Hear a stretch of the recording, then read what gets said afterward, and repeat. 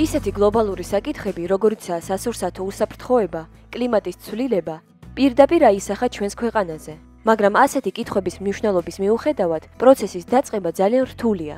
შეიძლება ითქვას, რომ რთულია იმ წარმოების ტექნოლოგიების აღდგენა ან შეცვლა, რომლებსაც ბოლო წლების განმავლობაში ვიყენებდით.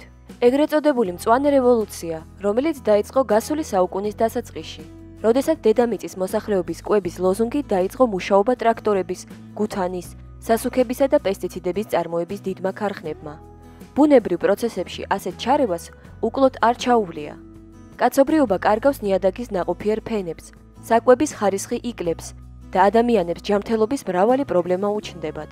ბოლო დროს კი სულ უფრო იზრდება მტკიცებულება, რომ კლიმატის ცვლილებაში ყველაზე დიდი წვლილი უძღვის არა ქარხნებსა და მსხვილ საწარმოებს, არამედ ნიადაგის ელემენტარულ დამუშავებას.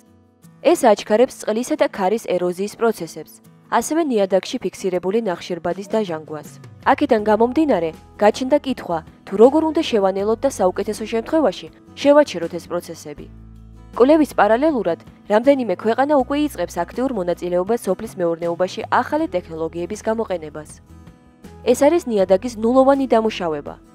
დღეისათვის ამ ტექნოლოგიით მთელ მსოფლიოში 200 მილიონ ჰექტარზე მეტი მუშავდება. ტელეკომპანია საფერავი ფერმერებთან ერთად უკვე მეორე წელია საქართველოში ამ ტექნოლოგიის საველე გამოცდებს ახორციელებს. ხოლო 12 აპრილს საქართველოს სასოფლო სამეურნეო მეცნიერებათა აკადემიაში ამ მომენტში ნაკვეთებზე არსებული მდგომარეობის შესახებ მოხსენება იყო. ცდები მიმდინარეობს დედოფლის წყაროში და შირაკში.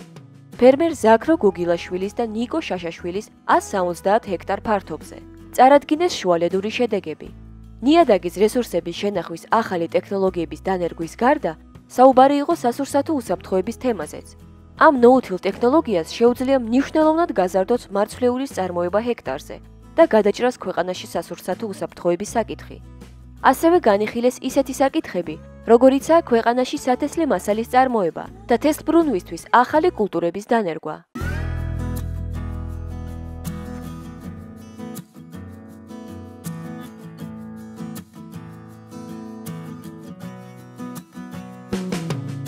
დღეს ძალიან მნიშვნელოვანი შეხვედრა ჩატარდა სოფსმენობის აკადემიაში. ჩვენ დავიწყეთ ძალიან სერიოზული პროექტი, ეს არის ნოუტილის ტექნოლოგიების დანერგვა საქართველოში. ჩვენ უკვე გვაქვს რამოდენიმე სადემონსტრაციო ნაკვეთი შირაკის ველებზე, არის ქართლის ველებზე.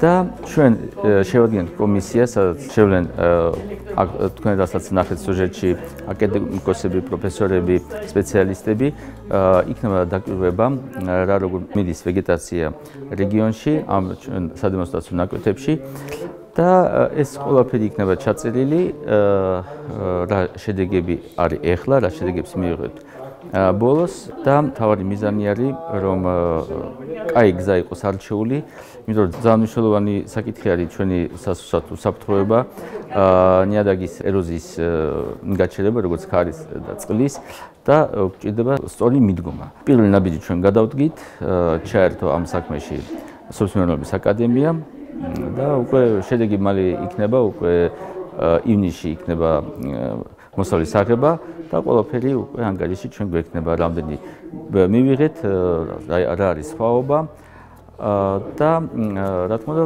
ხორბლის ხარისხი. ну, до ყველაფერს გიჩვენებს. პირველი ნაბიჯი გადავდით.